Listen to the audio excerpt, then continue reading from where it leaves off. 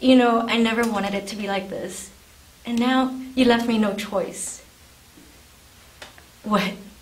You have something to say? After everything that you did?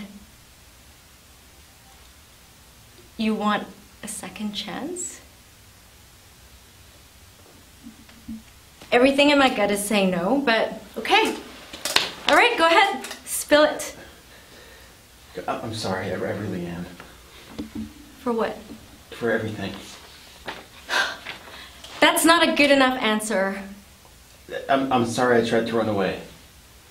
And? And I'm sorry I, I put painkillers in your pasta. And? And, I, And are you sorry that you disappointed me? Are you sorry that you fucking betrayed us? yes, us? yes, yes. You think that Demi would have done this? Huh? Or Ariana? Or Brittany? I, don't, I don't know.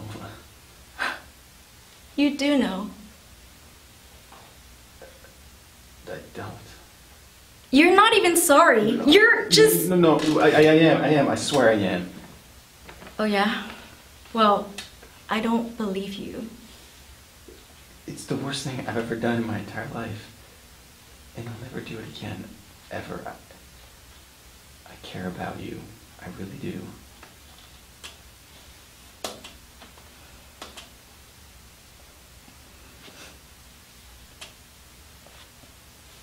I don't want things to be bad between us.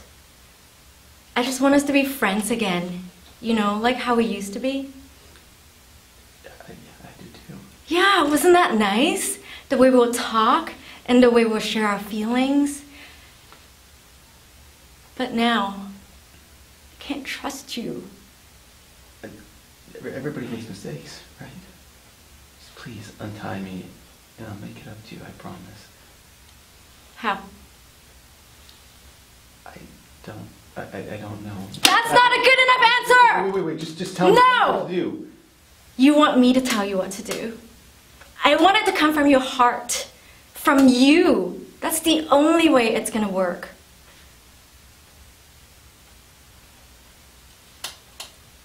Maybe you just need to take more time with this.